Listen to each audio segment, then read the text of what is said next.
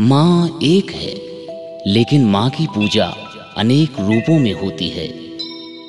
जब माँ शेर की सवारी करके अपने हाथ में शंख, चक्र, गदा, तलवार धारण करती हैं, तब माँ शेरावाली कहलाती हैं। जब माँ ऊँचे पहाड़ पर अपना दरबार लगाती हैं और भक्तों की मनोकामना पूर्ण करती हैं, तब माँ पहाड़ा वाली कहलाती है। माँ जब गाँव में नीम के पेड़ के नीचे एक छोटे से मंदिर में विराजमान होती है तो माँ काली कहलाती है। और वही माँ जब घर घर में साक्षात उपस्थित रहकर अपने बालक बालिकाओं का लालन पालन करती है तो माँ कहलाती है। तो आइए माँ के इन सभी रूपों का वर्णन इस भजन के माध्यम से सुने।